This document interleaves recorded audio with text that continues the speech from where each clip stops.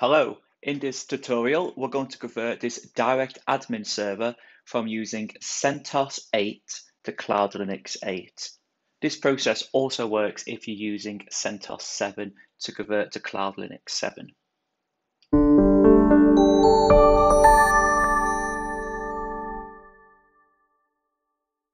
Okay, so the first thing we want to do is make an SSH connection to our direct admin server. And then we want to install the Cloud Linux repo. I'll put this command in the notes section below this video. And then once done, we just need to install Cloud Linux.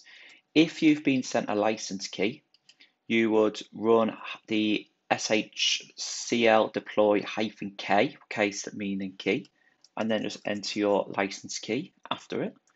If you've got an IP address license like we have, just put hyphen I for IP address and then press enter. This will then start the process in the background, as you can see, to install Cloud Linux. This process can take up to 30 minutes.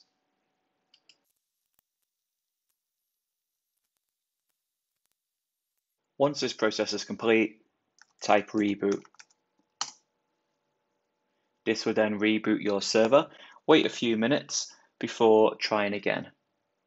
Okay, so the next step is to go back to the direct admin interface and log in using the admin login details. Make sure the access level in the top corner is set to admin. So we'll go to extra features and we'll go to this new menu called Cloud Linux LVE Manager. So we're getting a error saying it's a restricted area and we just need to add our admin username to be able to access this plugin. And then go back to our SSH connection to the server and run the command.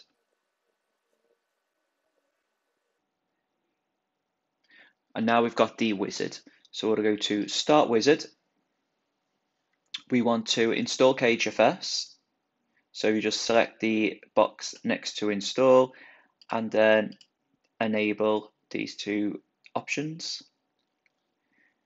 Install LiteSpeed API, this will give us a better performance on PHP. Okay, so we're going to have to do that through the custom build tool, which is fine. We'll install MySQL Governor. And then if you want to enable Node.js, Python, you could do that too. And then we'll install the PHP selector. And then select all versions of PHP that you want to offer your customers. We'll just select all. And then go to Enable Selector. Click Finish and Install.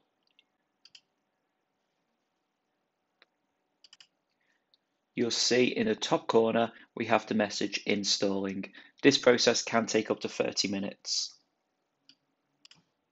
And if you scroll down, we could just see what it is doing. So at the moment it's installing CageFS and then the other features are queued. If you run into an error like this, MySQL Governor installation failed, this will be because the server is running a version of MySQL or MariaDB that isn't supported by Cloud Linux. If this happens, just click cancel. And then it will cancel the MySQL governor and it will continue installing the rest of the components.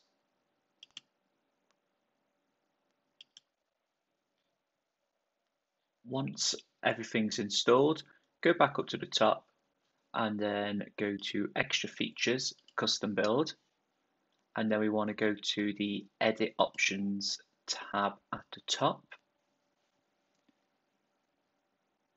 And what we want to do with the PHP 2, 3 and 4, we just want to set them to no. I'll show you why.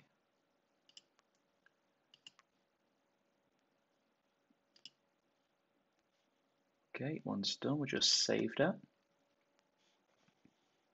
So the reason why we just made those changes to the PHP release versions is so that there isn't two PHP selectors showing inside of your customer's control panel because you've got your Cloud Linux one and then there's the native one in Direct Admin and we only want to use the Cloud Linux one.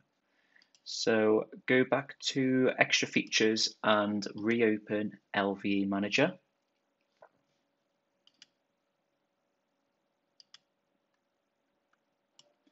And then from the menu at the top, go to Selector.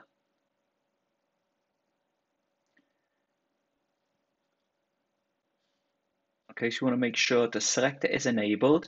The default version change from native to the version of PHP that you want to be default. I'm going to select 7.4 and agree to that.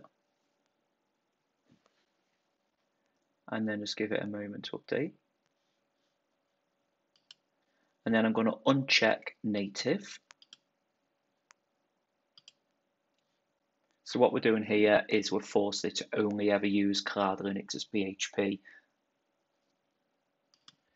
and then below, you've got your default modules, which you could set for each version. Customers can enable modules themselves, but if there's a particular feature you get asked for all the time and you just want to enable it for everyone, this is the place where you do it. So for example, let's say we wanted to, to enable OP cache, we'll just tick this little box here and then save. If you want to do it for other versions, just go through the list here and then I'll show you what this looks like for customers. So we'll just log into this demo account that I created. So for a customer to make PHP version changes, they'll go to extra features, select PHP version,